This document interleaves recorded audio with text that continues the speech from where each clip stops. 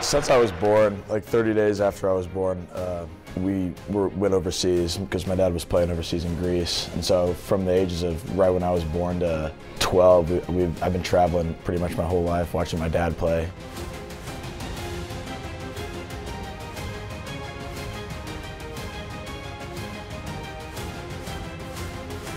I mean, I, have grown up just watching volleyball my whole life, and mean, that's why I love it so much. Growing up with one of the, one of the best players ever play as a dad and a coach, uh, I've, got, I've got the best tips and pointers and lessons that I could possibly get from anybody. Perfect pass by Dryden. Ball again, the ball on the left side and hammered down the line.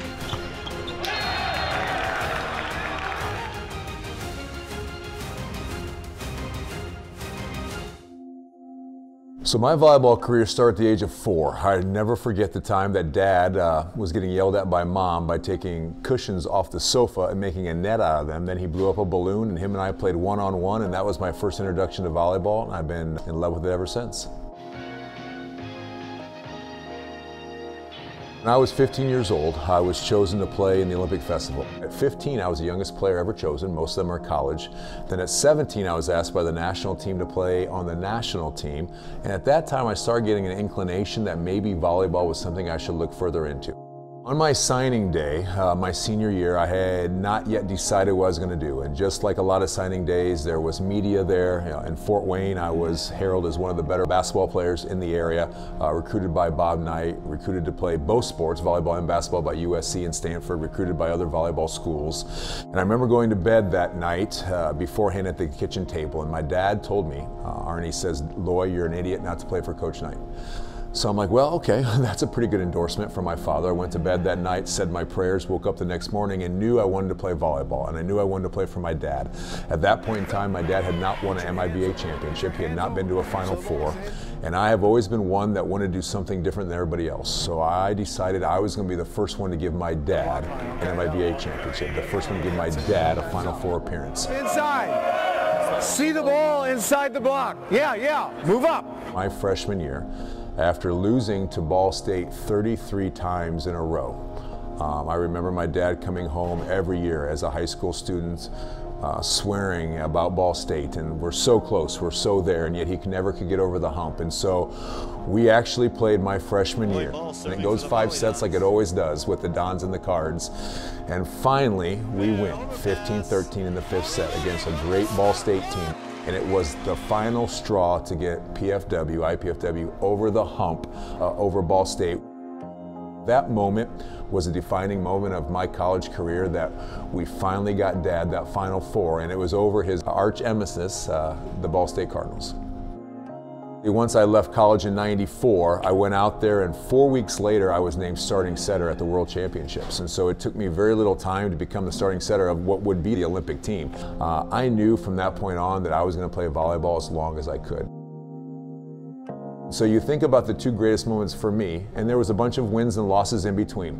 But the one is the first time representing my country in my country at Atlanta. The second one is my last Olympics at the age 36 with my son in the crowd and my wife and my, and my mom and dad and winning that elusive gold medal that I've been chasing since, once again, that age of four, kind of put a good cap on that career.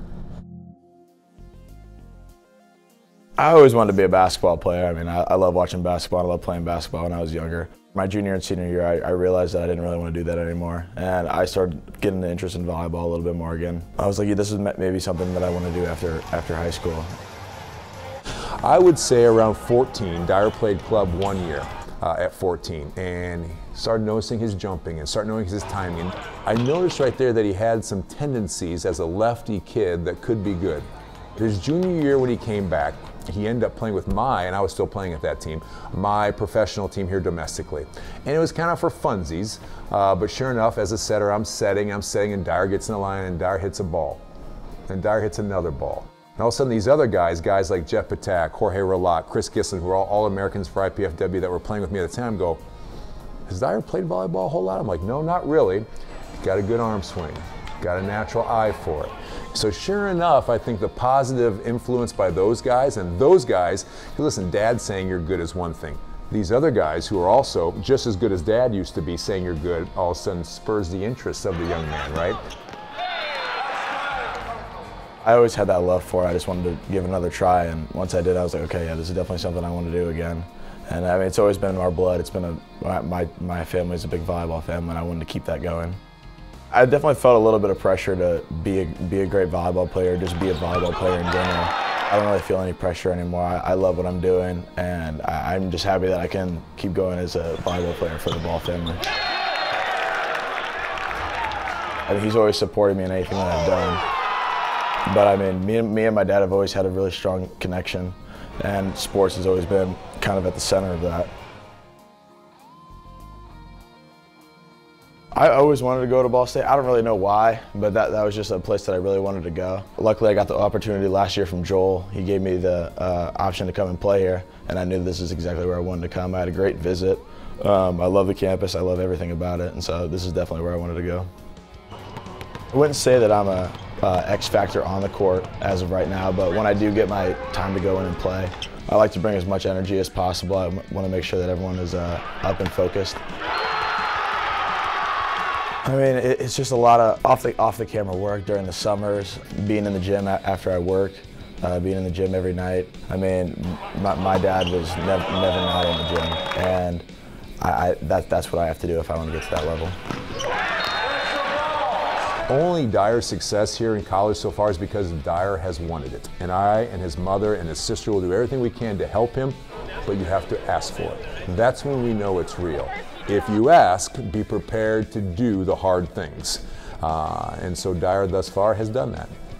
I, th I, think he's usually always coach mode, even when we're just hanging out at home. We'll, if we're watching any type of game or anything like that, he'll always be like, hey, you should be doing this or whatever.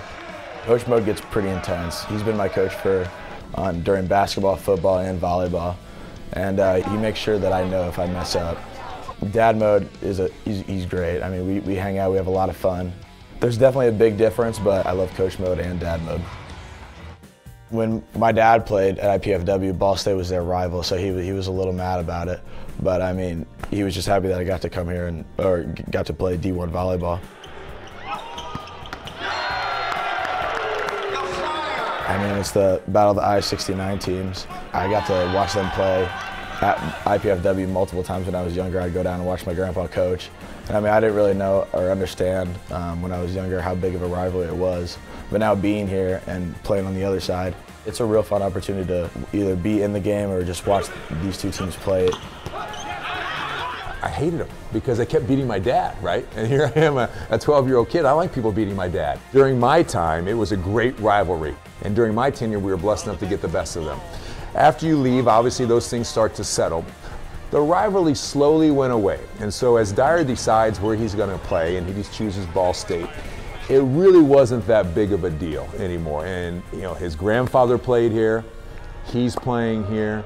I'm the Don in between a little bit. And so they're two great schools, and no school has a better history than Ball State. But it was awesome. It was, it was my dad's 50th birthday, too. I'm glad I got the opportunity to start there. I, I played pretty well, I thought. I think I made my dad pretty happy with that. Well, it was awesome. Um, you know, I had told, because uh, I was in the gym at uh, PFW earlier that week uh, talking to Coach Perrotte, and the boys came up and said, Hey, are you cheering for us against the Cards? I said, I'm cheering for you 51% unless Dyer plays. Then it's 51 for Ball State and 49 for you. And so, sure enough, Dyer got the start, and they squeaked out a five set win. And so, listen, I'm always going to be a Don, right? But I'm a dad of a card. And so you have to balance those two things.